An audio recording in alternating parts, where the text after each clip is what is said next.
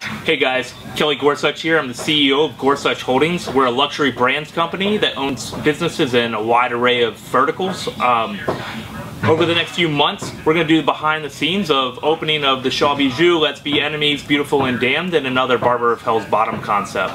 Uh, subscribe and follow along.